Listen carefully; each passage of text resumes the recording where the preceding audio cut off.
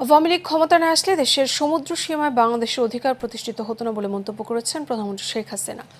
সকালে ভার্চুয়ালি কোস্টগার্ডের নয়টি নতুন জাহাজ এবং ভোলা ঘাঁটি উদ্বোধন করে কথা বলেন তিনি। প্রধানমন্ত্রী বলেন, জাতির পিতার দেখানো পথ ধরে দেশকে এগিয়ে নিয়ে যাচ্ছে আওয়ামী লীগ সরকার। বাংলাদেশ নিজস্ব শিপইয়ার্ডে জাহাজ তৈরি করে নিজেদের সক্ষমতার প্রমাণ দিলেও জানিয়ে আগামীতে বাংলাদেশ জাহাজ রপ্তানি করবে বলেও আশা করেন সরকার প্রধান। এ সময় দেশপ্রেম এবং দায়িত্বশীলতার সাথে কোস্টগার্ড সদস্যদের দায়িত্ব পালনের আহ্বান জানান প্রধানমন্ত্রী।